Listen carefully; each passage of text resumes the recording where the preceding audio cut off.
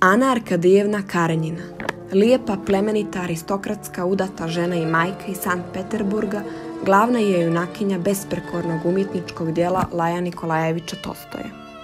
Sa dolaskom u Moskvu posjeti bratu, njen će se uobičajen jednoličan život bez ljubavi muževljeve promijeniti iz korijena. Upoznavanje mladog grofa Vronskog će kao ogromna vodena bujca u suvoj žednoj pustinji potopiti njeno srce i pokrenuti emocije za koje do tad nije ni znala da postoje i rasplansati vatru njene duše u sjajan požar tamne noći. Teško joj je bilo da se predaje tom zanosu, ali ju je nešto uvlačilo u njega i ona je mogla po želji da mu se predaje ili ne predaje. Od trenutka njihovog susreta životna lokomotiva Anina odvela je u oluju i mećavu strasne, ali nesrećne destruktivne ljubavi i agonije koja je protkala živote ovih Romea i Julije 70. godina 19. vijeka i potpisala im sudbinu. U početku je pokušavala suzbiti na ostečana osjećanja, osjećala ogroman, užasan stid i sramotu zbog istih i grižu savjesti. Ničega sramnog nije bilo, ali baš pri tim uspomenama sve većma ju je obuzimalo osjećanje stida, kao da joj je neki unutrašnji glas baš tu kad se setila Vronskog govorio. Toplo, veoma je toplo, peče. Gledajući u njega, ona je fizički osjećala svoje poniženje i ništa više nije mogla govoriti. On pak osjećao je ono što mora osjetiti ubica kad vidi lešinu što je lišio života. Ta lešina lišena života bila je njihova ljubav prvi period njihove ljubavi. Bilo je nečeg užasnog i odvratnog u uspomenama nad ono za što je plaćeno ovom strašnom cenom stida. Kada se konačno predala svojim osjećanjima prema ljubavniku, pod teretom javne osude i skandala počeo se razarati njen brak, a samim tim i njen život. Dva čoveka, muž i ljubavnik, bili su za nju dva centra života i ona je osjećala njihovu blizinu i bez pomoći spoljnih čula. Ana se izbezumila. Počela je da se kida kao ulovljena ptica i da sve više pati zbog ukaljenog imena svoga muža, sina i sebe. U dubini duše je smatrala svoj položaj kao lažan i nečastan.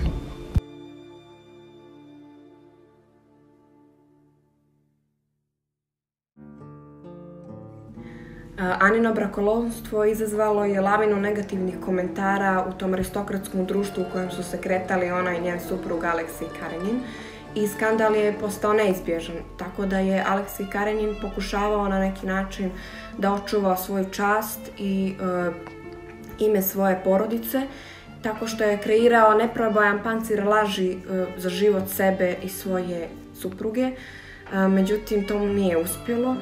Imamo nekoliko citata koje, koji nam govore o tome, o njegovom teškom položaju u tom periodu.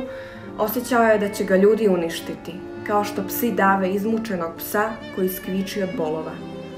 Ipak nesumnjivo znao je da je prevaren muž i bio je zbog toga duboko nesrećen. E, zatim imamo još jedan citat koji govori o neodobravanju Aninog brakolomstva u društvu. One su već spremale lopte blata kojima će se bacati na nju kad dođe vreme. Većini starijih ljudi nije bilo po volji taj društveni skandal koji se spremao. Zatim imamo citat koji opisuje mišljenje Aleksija Karenjina o njegovoj supruzi u ovom momentu. Bez časti, bez srca, bez religije, pokvarena žena. U tom momentu Ana je bila jako ogorčena na samu sebe zato što je dovela svoju porodicu u takav položaj. Ja sam rđava žena, ja sam propala žena, mislila. Ali ja ne volim da lažem, ja ne podnosim laž, a njegova muževljeva, hrana to je laž. Ja slušam vas, a mislim o njemu. Ja ga volim, ja sam njegova ljubavnica. Ja ne mogu da podnesem, ja se bojim, ja vas mrzim. Misa o sinu je umiruje, a istovremeno povećava njen grijeh. Čak i u jednom dijelu govori da bez sina za nju ne može biti života, čak ni sa onim koga voli. Dete kao da je osjećalo da između ovoga čoveka i njegove matere postoji nekakav važan odnos, čiji značaj ono ne može da shvati. Prisustvo tog deteta izazivalo je u Vronskom i u Ani osjećanje, slično osjećanju moreplovca koji po kompasu vidi da se pravac, kojim se on brzo kreće, mnogo razilazi sa pravcem kojim treba ići, ali da nije u stanju zaustaviti kretanje.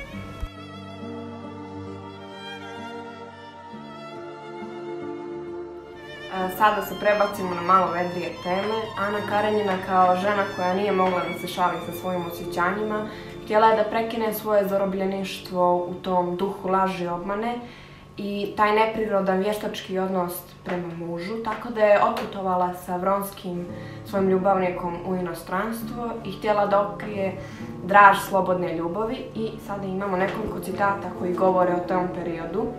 Šta bih da mogu slobodno i smelo da te volim? Ja se onda ne bih mučila, a ne bih ni tebe mučila ljubomorom. Ona ga je volela kako samo može voleti žena za koju je ljubav pretežnija, no sva ostala blaga u životu. Razumij da se za mene, od onog dana kad sam te zavolela, sve promenilo. Za mene postoji samo jedno, tvoja ljubav. Ako je ona moja, onda se ja osjećam tako visoko, tako čvrsto, da za mene ništa ne može biti ponižavajuće.